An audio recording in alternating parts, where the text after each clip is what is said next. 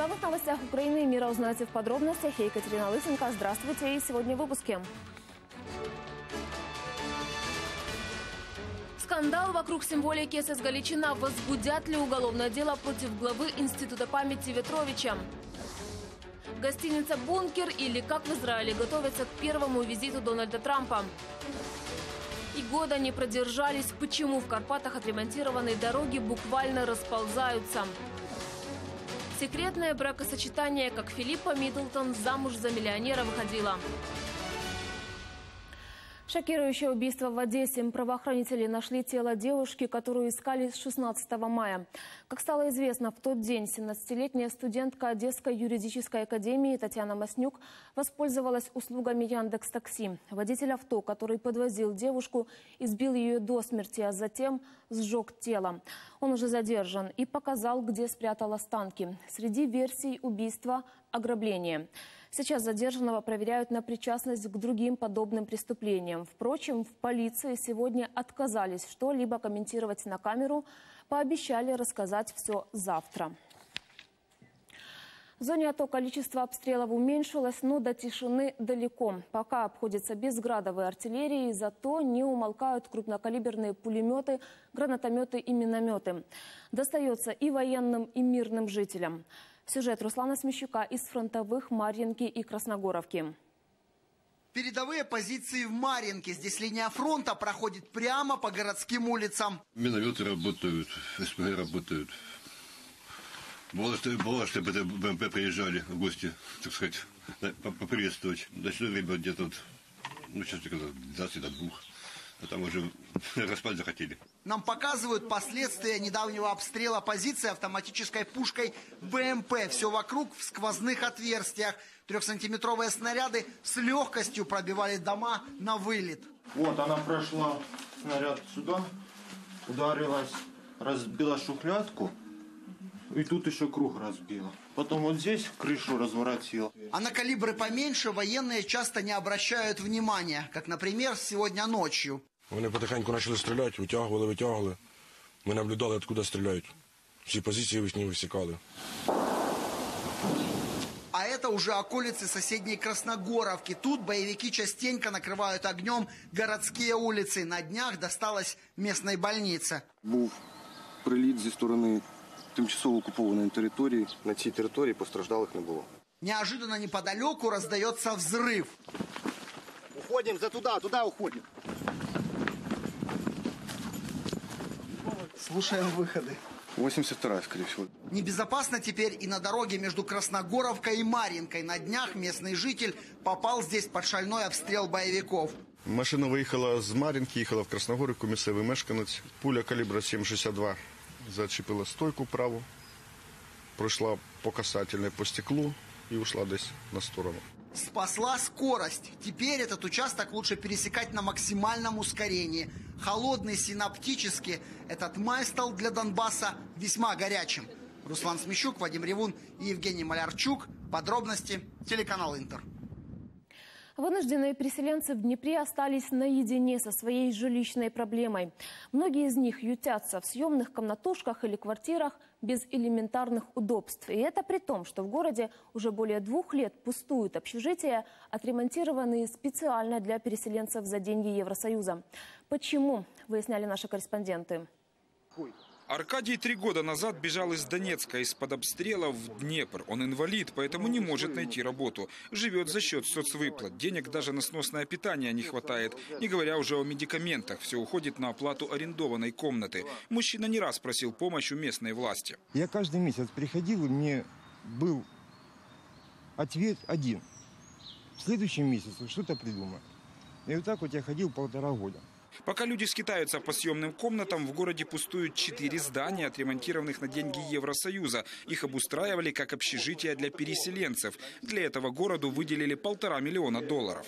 Это кухня с мойками. Здесь э, вот печки стоят, просто они еще не установлены. Э, в том здании будут холодильники и тоже часть печей. Это общежитие простаивает уже два с половиной года. Поселить сюда людей не могут, так как здание на бумаге является детским садом его нужно поменять статус на жилое помещение. Общежитие это будет, временные квартиры, как переселенческий, как угодно, гостиница. В горсовете рассказывают, уже занимаются переоформлением документов. Через три месяца бюрократическая процедура будет завершена. Но и тогда люди не смогут сразу же заселиться, ведь в некоторых зданиях нет канализации, не подведено электричество и газ. Даже если там вопрос в электросети, в канализации, все равно это все будет через проект делаться вот, по подключению. Тут дальше сроков мне объявить трудно. Это всего лишь отговорки, уверены юристы, ведь, как выяснилось, часть отремонтированных комнат уже заняла одна из местных общественных организаций, а на еще одно здание претендует предприниматель. А что происходит?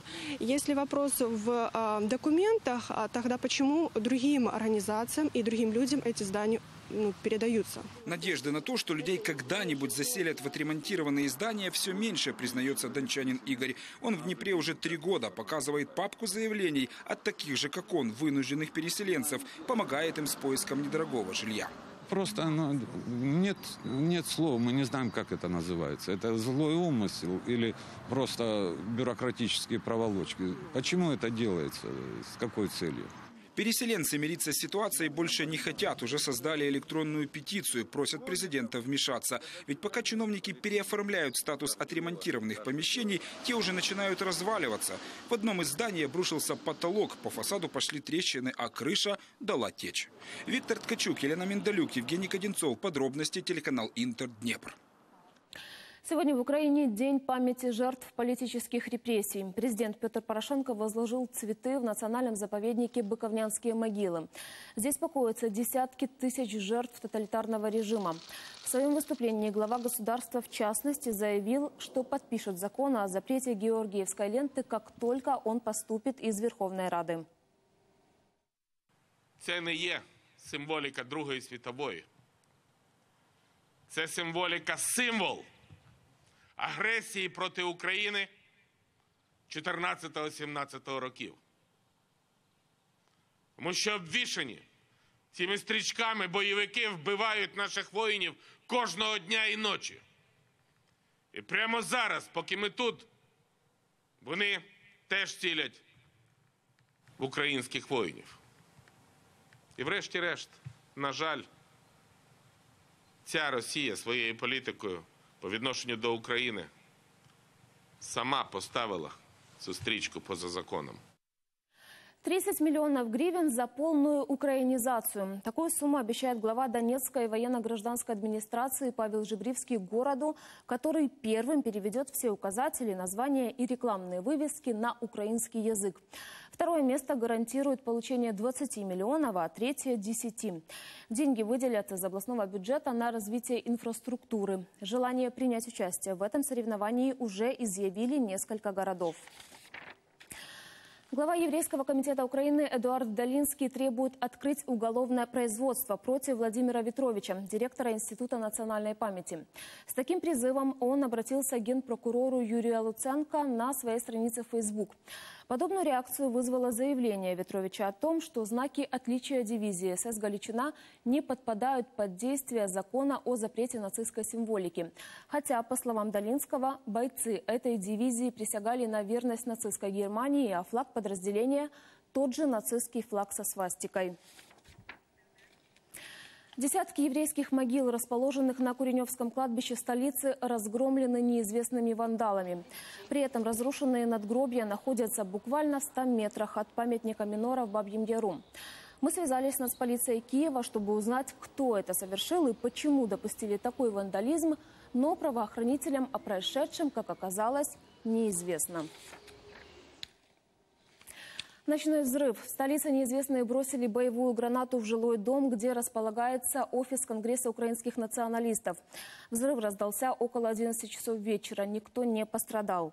По предварительным выводам экспертов, это была граната РГД-5. Взрывной волной и осколками повреждены стены и входные двери помещения. Следователи квалифицируют произошедшее как хулиганство.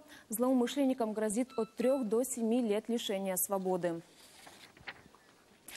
На курорты без загранпаспорта. Турция разрешила въезд украинцам по новым документам, внутренним ID-картам. Об этом сообщили в Государственной миграционной службе. Турецкие власти уже опубликовали официальное решение, признающее новые украинские паспорта с чипом документом для поездок в их страну. Соглашение может начать действовать уже через две недели. Украинцы к этому времени успели оформить около 600 тысяч новых ID-карт, а ежедневно новые документы оформляют примерно 6 тысяч человек. Меньше месяца осталось до того дня, когда Европейский Союз откроет свои границы для украинцев. Пока же в отделениях миграционной службы настоящий аншлаг. Люди буквально штурмуют их, чтобы получить биометрический паспорт, а в пунктах пропусках готовятся к наплыву туристов. Подробнее в нашем материале. Житель Черновцов Андрей за границей частый гость. У мужчины бизнес в Румынии, ездит туда каждую неделю. Визу открывает раз в полгода. С нетерпением ждет без виза, чтобы и деньги сэкономить, и время. Без візи взагалі то це класно.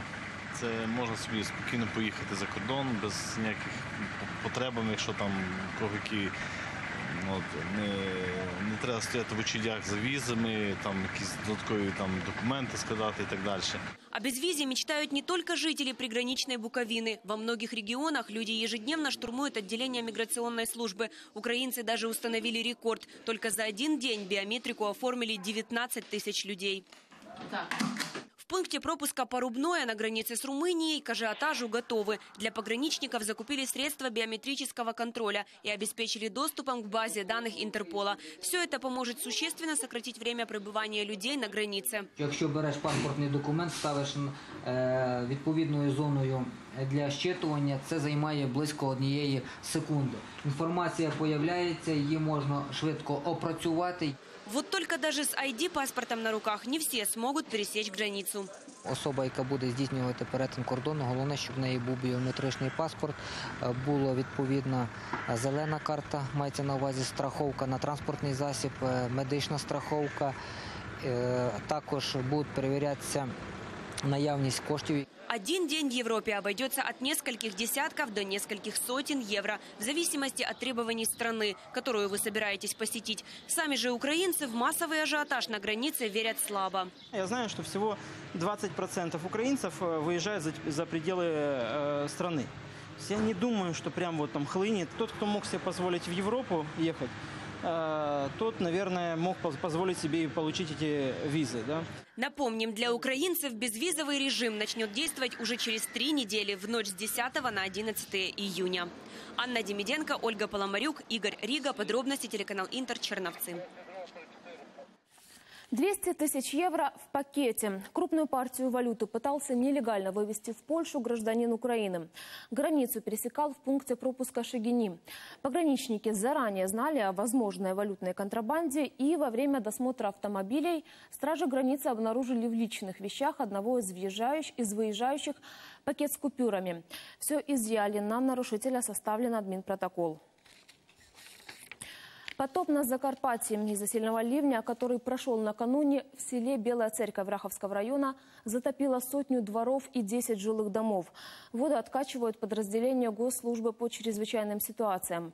Никто из жителей не пострадал, эвакуация не понадобилась, электроснабжение уже восстановили. Сельсовет создал специальную комиссию, ее участники будут обходить подворье, чтобы установить размер ущерба, нанесенного стихией. Куда уходят миллиарды? Только на Прикарпатье. В прошлом году служба автомобильных дорог закатала в асфальт официально более 1 миллиарда гривен.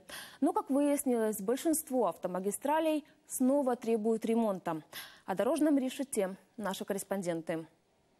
Кривопильский перевал – один из самых высоких и сложных для проезда в Карпатах. Ежегодно здесь десятки аварий, и зачастую из-за плохой дороги. В 2015-м ее капитально отремонтировали. На полтора километра покрытия потратили почти 3 миллиона гривен. Но, говорят местные, не прошло и полгода, как дорога начала расползаться. Що жахливий, аварійний участок. Гроші частково пішли не в дорогу, а наверх. Обычно выборы у нас осенью. Вот перед осенью, осенью делали. То, что там угол постоянно обрывается, то нужно какие-то более новые технологии, чтобы его как-то укрепить.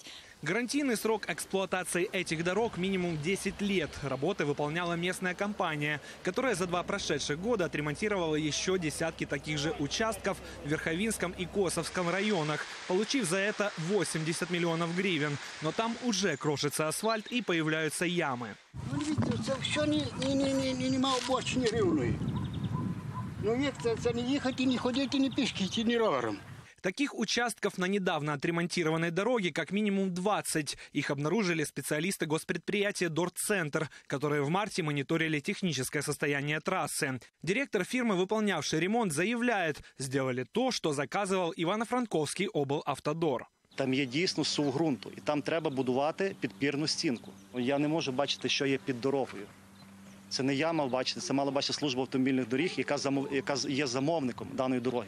В облавтодоре комментировать ситуацию на камеру не горят желанием. Прислали лишь письменный ответ, в котором утверждают, что все обнаруженные ямы и дефекты на дорогах уже устранены. По-видимому, дорожники даже не рассчитывали на то, что их якобы выполненную работу могут попросту проверить. Даниил Снисер, Жанна Дучак, Зиновий Автонас. Подробности телеканал Интер, Ивано-Франковская область. В Турции автобус с топ-политиками попал в аварию. Всего в салоне находились 39 человек, из них пострадали 32. Местные СМИ сообщили, что в машине находились представители партии справедливости и развития. Делегаты ехали из Измира на внеочередной конгресс политсилы. Водитель потерял управление, из-за чего автобус въехал в забор. Пострадавших госпитализировали, их здоровью ничего не угрожает. КНДР провела новое испытание баллистической ракеты. О ее запуске сообщили в Генштабе армии Южной Кореи. По данным военных, ракета преодолела расстояние около 500 километров в сторону Японского моря. Информации о типе вооружения пока нет. Президент Южной Кореи Мун Дже Ин уже созвал срочное заседание Совета безопасности страны, а Япония предложила обсудить запуски ракет КНДР на саммите Большой Семерки в Италии. Синий щит накрыл Израиль. Там готовится к приезду американского президента. Меры безопасности особо жесткие, пробки ожидаются колоссальные. О чем Трамп будет говорить с израильским руководством, расскажет Сергей Услендер. Когда я писал текст этого материала, я все пытался подобрать сравнение, как же будут встречать в Иерусалиме Дональда Трампа. Так и не подобрал. Просто его будут встречать как американского президента. Улицы увешаны флагами двух стран, в аэропорту красная ковровая дорожка, множество гостей, а меры безопасности такие, что просто не с чем сравнивать. Тысячи полицейских и сотрудников спецслужб сосредоточены в Иерусалиме. Город месяц прочесывали на предмет поиска возможных террористов. Там находятся подразделения спецназа, снайперы, кинологи, саперы. И все это не считая сотен американских агентов, которые уже прибыли и прибудут вместе с президентом. И даже номер, э, гостиничный номер, в котором будет жить Трамп, особенный. Это номер бомбоубежища. Операция по обеспечению безопасности визита американского лидера получила кодовое название «Синий щит». Пять тысяч полицейских э, израильской полиции, пограничной полиции будут задействованы в э, мероприятиях, которые будут обеспечивать безопасность э, визита президента Соединенных Штатов Америки. В основном, конечно, все эти меры безопасности будут предприниматься в Иерусалиме. Президент будет посещать определенные места, которые, естественно, мы знаем. Это и, по всей вероятности, музей Яд Вашем, и определенные места в старом городе, и стена плача. Поэтому вблизи всех этих мест будет определенное перекрытие улиц. Трамп прилетит в Израиль из Саудовской Аравии. Факт сам по себе любопытный, учитывая, что между двумя странами нет прямого авиасообщения, но для такой важной персоны все-таки сделали исключение. В Иерусалиме Трамп, помимо протокольных мероприятий и всяческих посещений интересных мест, собирается обсуждать с премьером Нетаньягу, а позднее в Вифлееме с Махмудом Аббасом, президентом палестинской автономии, пути выхода из палестино-израильского конфликта. В частности, говорят, что он предложит э, прямые переговоры Рамалы и Иерусалима при непосредственном участии Белого дома. Кроме того, сам Трамп неоднократно подчеркивал, что собирается как бы перезагрузить отношения Америки и еврейского государства, учитывая, что в период президентства Барака Обамы они переживали довольно сложный период. Сергей Услендер, подробности, телеканал Интер, Израиль. Визит Трампа в Саудовскую Аравию уже вызвал шумиху в мировых СМИ. Напомню, это первое зарубежное турне американского президента. И сообщения о поездке пестрят как громкими заявлениями, так и сведениями о конфузах, которые сейчас пытаются замять. Трамп тут и высшую награду страны получил, и с саблями станцевал. Американский президент ставит себе в заслугу крупнейший оружейный контракт. США продадут оружие на 110 миллиардов долларов. Трамп за один раз продаст сюда столько, сколько Обама за все годы президентства. Причем дальнейшие сделки должны довести эту сумму до рекордных 350 миллиардов. Газдеп пояснил, что Вашингтон поставит и противоракетные комплексы «Патриот», и новейшие системы перехвата, а еще танки, артиллерию, БМП и вертолеты, и даже военные корабли. Параллельно страну открывают для американского бизнеса. 19 крупнейших американских компаний получают разрешение на работу. Но за красивым фасадом бизнес-успехов не остались незамеченными и масштабные проколы, которые с удовольствием смакует пресса. Жена и дочь Трампа не стали покрывать голову, отказавшись от традиционного в королевстве платка. И это при том, что Трамп в свое время жестко раскритиковал Мишель Обаму за несоблюдение соблюдение дресс-кода во время визита в Саудовскую Аравию своего предшественника. Более того, американская пресса написала, что Иванка Трамп и ее муж Джаред, которая входит в делегацию, якобы попросили для этой поездки разрешения у раввинов, ведь они строго соблюдают традиции иудаизма, а вылет был как раз в шаббат. Но несколько часов назад разразился скандал. Сам Равин сообщил израильским СМИ, что никакого разрешения не давал, а ортодоксальные евреи могут путешествовать в шаббат лишь при угрозе жизни и безопасности. Так что перелет в Израиль, куда дальше отправился Трамп, омрачен очередным скандалом, в который главу государства втянула семья. Виталия Кушмир. В Венесуэле сотни тысяч человек вышли на улицы с требованием об отставке президента Николаса Мадура и проведении досрочных выборов. В столице страны Каракасе около 160 тысяч демонстрантов приняли участие в марше. Люди готовились к столкновениям с полицией, поэтому были в защитных масках, а в руках несли щиты, палки и камни. Беспорядки в Венесуэле продолжаются 50 дней. За это время в стычках с силовиками погибли не менее 47 человек, сотни получили ранения. Они должны нас услышать. Я тоже очень боюсь, но еще больше боюсь потерять своих детей из-за отсутствия безопасности на улицах. Я боюсь выйти на улицу и не найти еду для своей семьи, не найти лекарств. Вот что меня пугает. Поэтому я сегодня на митинге ради своих детей. Шок и трепет на Канском фестивале. Причем такую реакцию звездных гостей вызвал вовсе не остросюжетный боевик или триллер, а бомба. Точнее, сообщение о минировании кинозала. Чем все закончилось, Алексей Пшемыский. Инцидент произошел вчера вечером. В преддверии пресс-показа киноленты «Молодой Гадар» Мишеля Хазанавичуса неизвестный позвонил в полицию, сообщив, что в кинозале заложена бомба. Вскоре стражи порядка обнаружили у входа брошенную сумку. Людей моментально начали эвакуировать. Нам пришлось очень долго ждать. Только потом нам сказали, что кто-то оставил сумку внутри, и ее проверяли полицейские и саперы. Нам сказали немедленно покинуть здание, однако обошлось без паники. Конечно, все старались выйти поскорее, но по головам не бежали. Зал Дебюсси, где был запланирован показ, зацепили полицейские, а на крышах соседних зданий появились снайперы. Гостям пришлось около получаса ожидать на улице, не понимая, что происходит.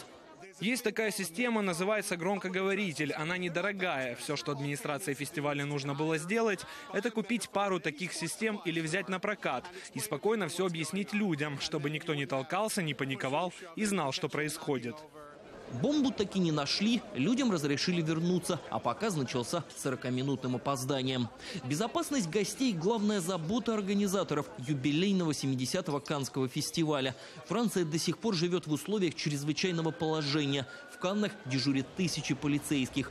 После прошлогоднего теракта в Ницце пешеходные зоны здесь оградили бетонными блоками, а на улицах поставили более полутысячи камер наблюдения. Угроза терактов отразилась и на самом фестивале. В этом году, по словам критиков, на Лазурное побережье приехало рекордно малое количество кинозвезд.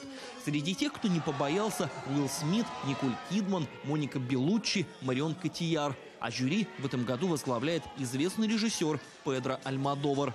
В основном конкурсе на 70-м Канском фестивале представлены 80 кинолент, в том числе и фильм «Кроткая» украинского режиссера Сергея Лазницы. Алексей Пшемыский, Иван Ермаков. Подробности Европейское бюро телеканала «Интер». Свадьба года в Великобритании. Под венец пошла Пипа Миддлтон, младшая сестра герцогини Кейт. Подробности церемонии, которую мечтала посетить вся мировая пресса, у нашего британского субкора Оксаны Кундеренко. Филиппа Миддлтон, наверное, самая знаменитая светская дама Великобритании. Личная жизнь 33-летней красавицы всегда была под пристальным вниманием желтой прессы. И когда девушка обручилась с миллионером Джеймсом Мэтьюзом, только ленивый не обсуждал их будущую свадьбу.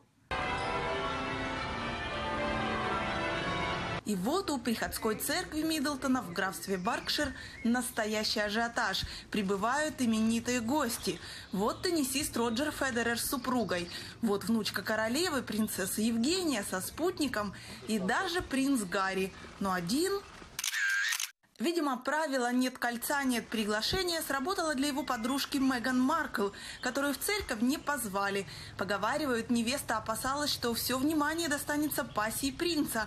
Но в особенный для Филиппа день все объективы были нацелены именно на нее – Какое платье восторгались ценители моды, сшито из кружева без единого заметного шва дизайнером Джайлзом Диконом. Даже старшая сестра Кейт Миддлтон в необычайно элегантном наряде не стала предметом обсуждения, а только поправляла пышные юбки младшенькой. Публичные роли в церемонии отвели другим членам монаршей семьи. Юный принц Джорджи и принцесса Шарлотта исполняли роль пажа и девочки-цветочницы. Редкое появление на публике позволило журналистам рассмотреть малышей поближе. И вот уже муж и жена выходят из церкви рука об руку. Поцелуй на камеры и в роскошном старинном ягуаре новобрачные отправляются праздновать. 350 гостей самого высшего ранга собрались на банкет в семейном поместье Миддлтонов.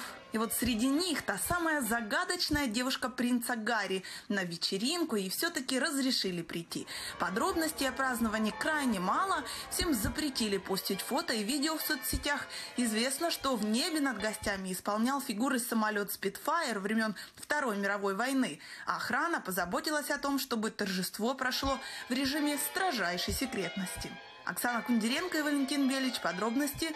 Британское бюро телеканала «Интер». Судебный иск за испорченное свидание, фантастический регион в современной Норвегии и мужской протест против насилия над женщинами. Об этом и не только в нашем международном обзоре.